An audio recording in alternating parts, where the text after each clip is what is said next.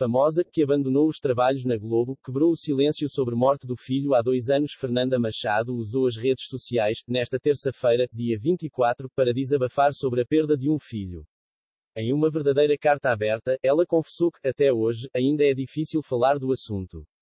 Em 2019, ela teve a gravidez interrompida e sofreu um aborto espontâneo do segundo bebê.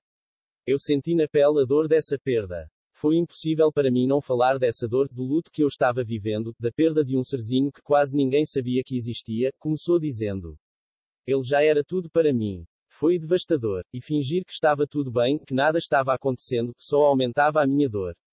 Dividir a minha perda gestacional foi parte do meu processo de luto, parte do meu processo de cura, acrescentou a atriz, recebendo diversas mensagens de apoio dos internautas.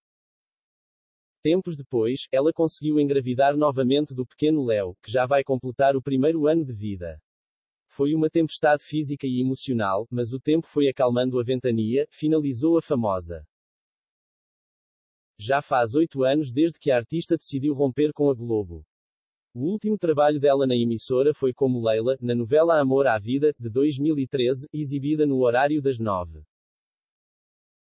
Depois disso, ela se mudou para os Estados Unidos, onde vive com a família.